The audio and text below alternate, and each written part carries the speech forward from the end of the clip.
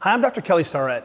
H-Wave has been part of my clinical practice with athletes, patients, and clients for almost a decade now. And I want to spend a second talking about how I explain this amazing technology to those incredible hardworking people. First of all, it's important and imperative to appreciate that all human beings are built to move, we're designed to move. So historically, we used to take somewhere between eight and 10,000 steps a day. That's just how much sort of movement we, uh, we evolved to have. Now, the key here is to appreciate that a lot of our systems of health and wellness are actually bootstrapped onto this movement system. For example, if you've ever flown in an airplane and you wake up or you, you get up and you feel like you've got cankles, your ankles are swollen, that's a classic example of sort of the mismatch between an activity and our lack of motion or lack of movement. So, for example, what's happening when you have that swelling in your ankles after a long day is that the inactivity or lack of muscle contraction has failed to evacuate or decongest or pump that fluid back up to your heart.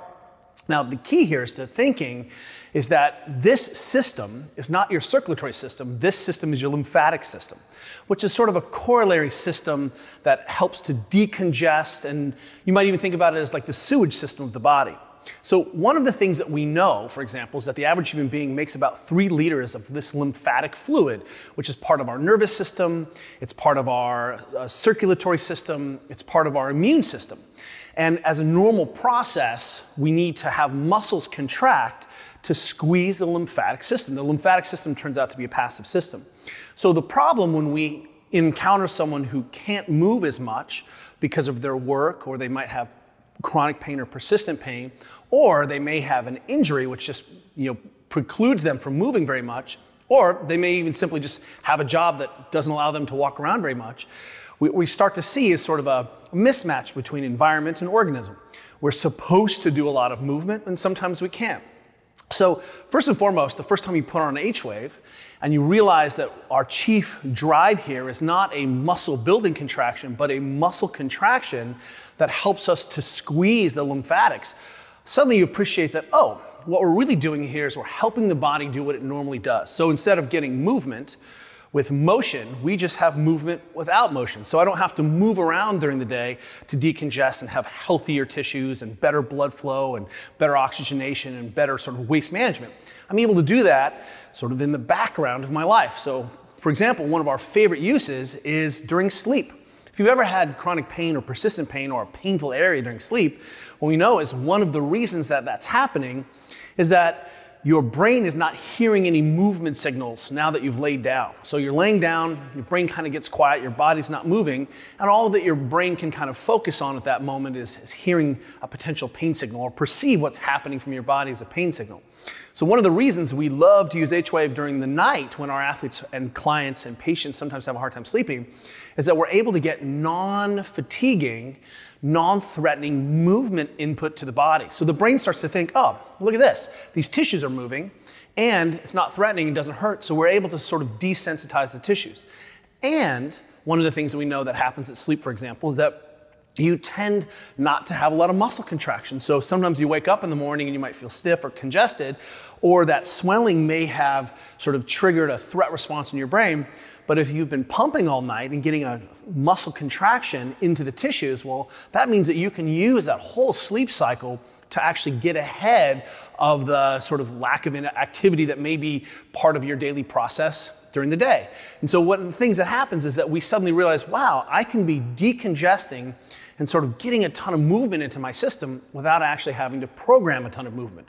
So whether I'm immobilized in a leg brace or uh, you know, have really, really persistent neck or back pain and feel like I can't move the way I want to or, or exercise or walk as much because I'm limited by my circumstances, the H wave is a powerful way to, again, get the muscles using a little bit of electricity to do what they normally do, which is contract, which again leads to this downstream effect of decongesting the lymphatic system. Now, this is important for several reasons. One is that we know that tissues that are poorly perfused and congested just don't work as well as they were in a normal system under a lot of movement.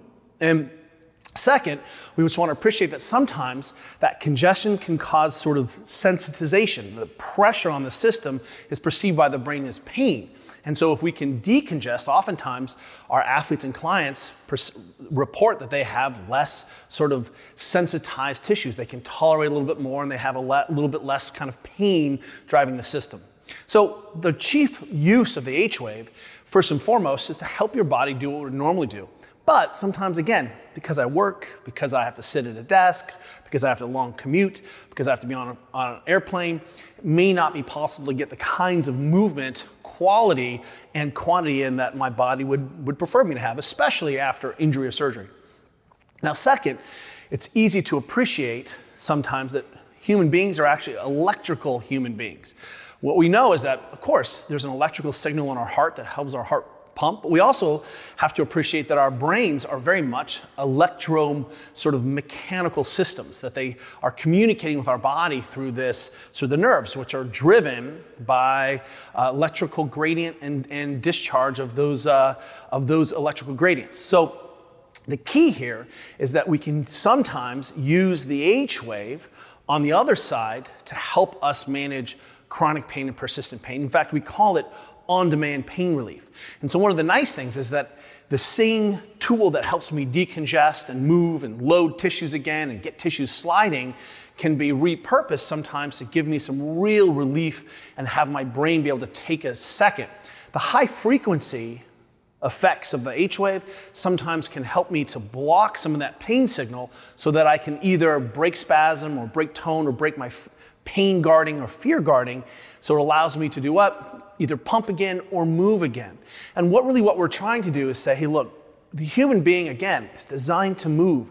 And all of our interventions are about returning activity and load back into this incredible tissue system. So, a lot of ways to do that. But in our 10 years of experience, it turns out giving someone the power to help modulate pain, eh, to attenuate pain signals, and to re perfuse, decongest, destagnate tissues that need that, that process can do a lot to get me back into the activities I love. This is how we've come to think about H Wave and why it's such a cornerstone of our clinical and athletic practice.